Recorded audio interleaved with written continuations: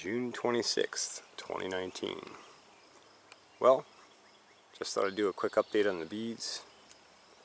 The bees are rocking.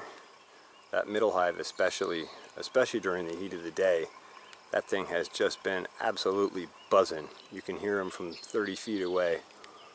And uh, bearded up most of the bottom part of that super, that bottom super, uh, most of the hotter part of the day. Um, it's got me thinking maybe I should pull that entrance restrictor out of the bottom of that hive as well, even though they have multiple extra entrances. Just want them to be able to stay cool in there. Um, the right-hand hive that swarmed out early in the season is still doing pretty well. Uh, activity seems a little slow at the moment, but uh, there are times they go by there and they're really rocking. And the left half, left-hand hive seems to be doing okay also. Um, coming up here in the next few days, I'm going to pop the covers off those top uh, honey supers again and have a look in there and see if they're drawing that foundation out and how uh, how things are coming along. Just thought I'd do a quick update. Uh, hope you found this interesting. If you have any questions or comments, don't be afraid to do so down below. Thanks for watching the Farmacy Seeds Network.